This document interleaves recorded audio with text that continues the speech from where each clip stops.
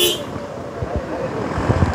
Muy buenas tardes compañeros en estudio, muy buenas tardes a toda la comunidad de Barranca Bermeja que se conecta a través de Enlace Noticias. Precisamente me encuentro en el sector de la represa, en el puente de la represa, donde a esta hora se realiza un bloqueo en esta vía principal que comunica el corregimiento del Llanito con Barranca Bermeja. Precisamente me encuentro al lado con uno de los representantes de, este, de estos bloqueos que están realizando en ese sector, precisamente a la tercerización de los suelos en Campo Casabes y otros campos de ese sector. Vamos a preguntarle, muy buenas tardes, cuéntenos acerca de este bloqueo que se está realizando por parte de algunos trabajadores que están en este sector?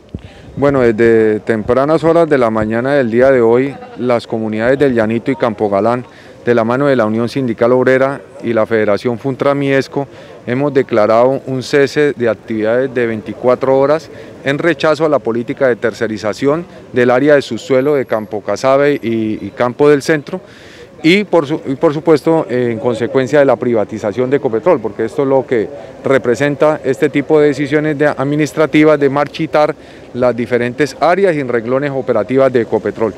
Decir que esto es una protesta pacífica, legítima de la, de la comunidad, eh, apoyada por, por el sindicato y por la federación,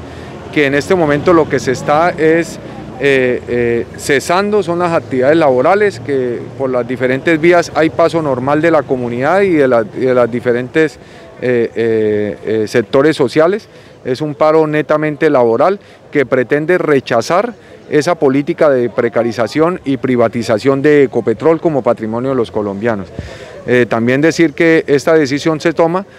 producto de haber agotado ya todas las instancias internas con la empresa, con el gobierno y la, última ratificación que acaba de dar el presidente de Ecopetrol es que la política continúa,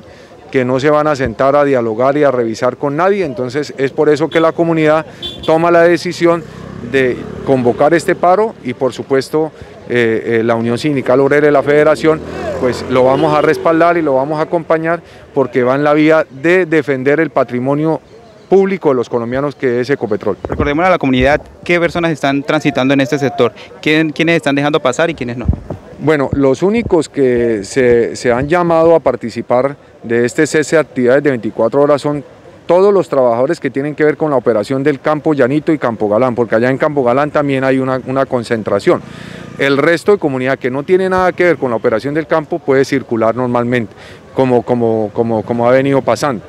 Eh, Esperamos que, la administración de Ecopetrol y el gobierno nacional entienda que continuar eh, tercerizando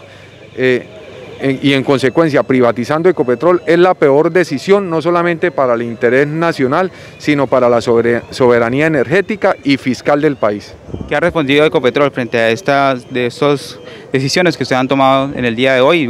y la conciliación que anteriormente usted mencionaba? No, la administración de Ecopetrol en todos eh, los espacios que se han convocado, tanto con la comunidad como con el sindicato, es de manifestar esa postura terca de seguir tercerizando y privatizando las áreas eh, eh, de, la, de, la, compañía y, pues ante eso pues no nos queda otra salida que salir a movilizarnos en defensa de nuestros puestos de trabajo, de la operación directa, pero también de Ecopetrol como patrimonio. Gracias, ese fue uno de los representantes de estas manifestaciones que se están realizando en el día de hoy. Quiero que por último veamos las imágenes de en este sector, tienen quienes están transitando en estos momentos la comunidad que se dirige hacia el Llanito y hacia los otros veredas cercanas a este sector. Por supuesto, lo que ha dicho el representante, están dejando pasar las, a las comunidades que vienen desde el Llanito para Barranca Bermeja. Este es un informe de Carlos Cuadrado con la cámara de Edier Campo para Enlace Noticias. Sigan ustedes con más información allá en estudio.